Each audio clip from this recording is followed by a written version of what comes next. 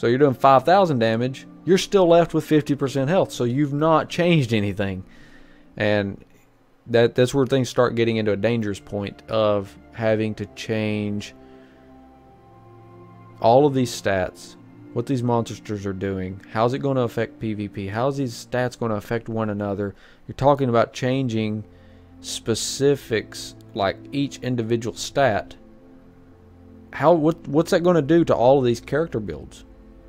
You know, Everything. does it promote more cookie cutting?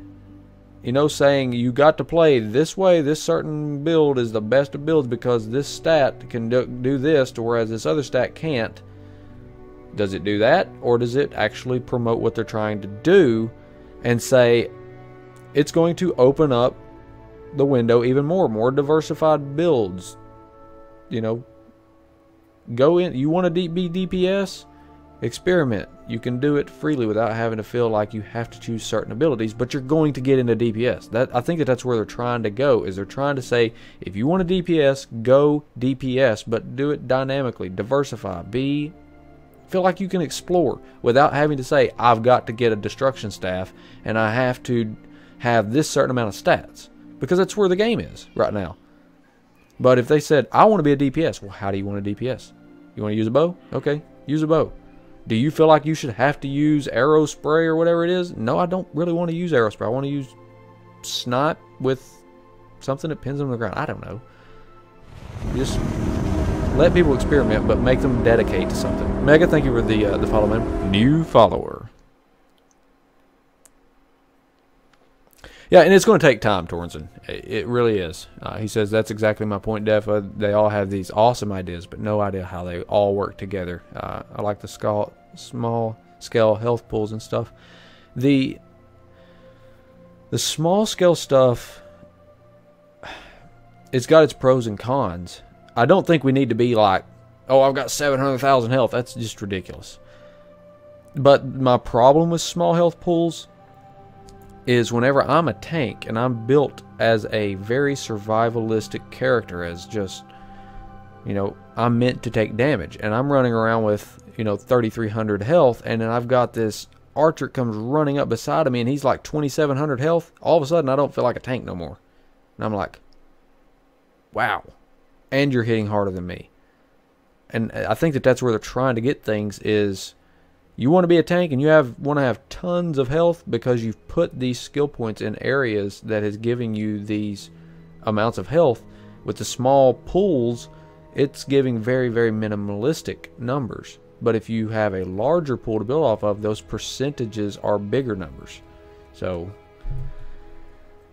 again the the numbers is going to have to be adjusted. That's the thing. And that's where it gets dangerous is how do you adjust them and make them work for the entire game and that's where the, the dangers lie.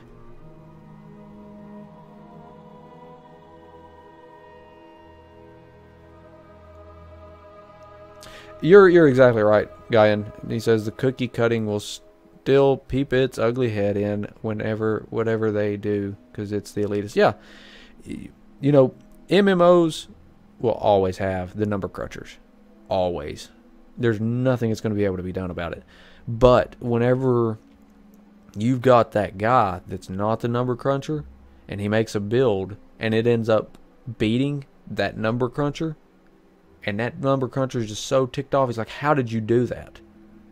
It's because i put stuff into what i wanted and it's working because i understand my build. That i think that's where zenimax is trying to get to. They're trying to get people away from this number crunching stuff and promote because you're playing how you want to play, you understand how it works, and you're making it work, you can kill stuff. And that I think that that's where the game needs to be heading. Make people feel like they can play how they want to play. Sometimes people like to play as a number cruncher, though. Yeah, they do.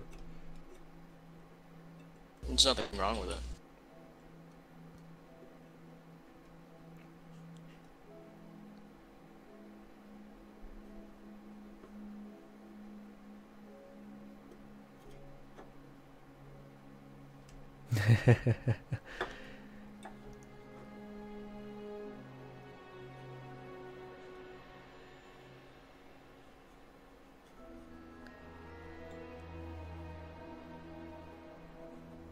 Torrenson, why not just boost the 0.015% number to make it more meaningful? Because that 0.015 number is after you put like 50 points into the champion boost, which originally gave 1%. Just another form of diminishing returns. First 1% boost, second point, 0.9, etc. Yeah, and that's basically, you know, I, I know why they're doing that, and it is a concern that they're doing it. But if they made it raise, you know, that would just continue to broaden that that bridge of you've got the guy that has played ESO since day one that has just played the hell out of the game and he is just running amuck against these guys that are new to the game or they don't get to play as often and things like that. if you didn't diminish some of that stuff down to kind of keep that gap close, but you're still allowing him to progress and get better and better stats, it's just not leaps and bounds. But as he does progress, he will be better than you know that lower level player that doesn't have as many points or whatever. And it's a good thing that they are uh, making that separation. There, there does need to be a separation between players, some, but that bridge does not need to be so damn wide that, you know, it's like you see somebody instantly and they they're running around with you know 105,000 health, and you're like, no, how do you do that? And you know everybody else is running around with like 15k health. Yeah, that that wouldn't Could be you good. imagine? I'd be like, oh my god. 105,000 health and doing like 30k damage per second. Uh, Bamela, did they say something about stacking food and drink buffs? Yes, that is coming. Yes. They told us it was coming in 1.3. Uh, I can't remember what patch they said last that it's coming, but it is coming. I have. I'm stacked for recipes. I'm good.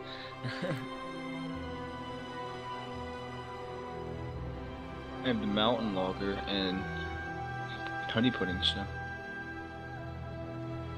I can get. I can get all that. Wow, that's a lot of hops though for that. Five mats for one drink. Whew. All right. Are there any more questions about uh, the the content that we just covered?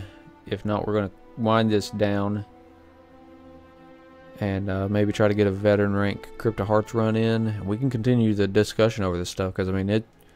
It's going to affect everybody that's playing ESO. Most definitely, this stuff is big, big changes to this game.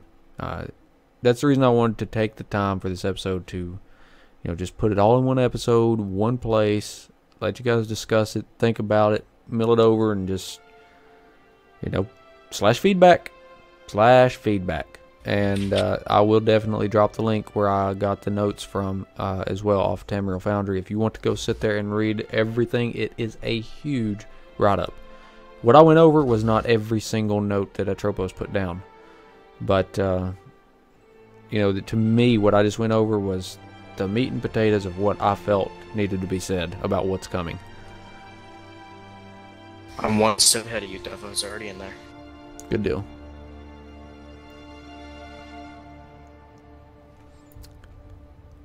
All right, we're going to go ahead and wind this episode up. So, once again, guys, uh, definitely appreciate everybody tuning in for the live stream of ESO Recapped episode number 30.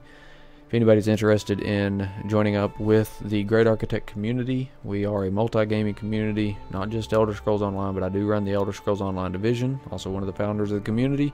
You can check us out at greatarchitect.us. Uh, go ahead and put in an application, get uh, get membership with us. If you just want to join the guild, you're welcome to join just the guild as a recruit with us and hang out. Uh, we're always looking for for new members. Doesn't matter the alliance. We're always here promoting, you know, to help people, just having fun. So uh, it's Great Architect. You can contact me in game at Defatank if you want to get in. Also, Landakian, appreciate you hanging out in the uh, the stream with me tonight, answering questions and helping uh, grab questions. Ops as well. Thank you for being here, and happy birthday to Ops as well. Don't sing it, Defa. You don't get a copyright strike. I'm not going to sing. um, other than that, we're going to go ahead and wind this thing down. If you guys are looking for any more information about the Elder Scrolls Online, it's elderscrollsonline.com. Also hit the forums at forums.elderscrollsonline.com. There's a constant amount of information. Hit that dev tracker over on the right hand side of the screen. You can see the most up to date information from the devs and what they're saying about the game.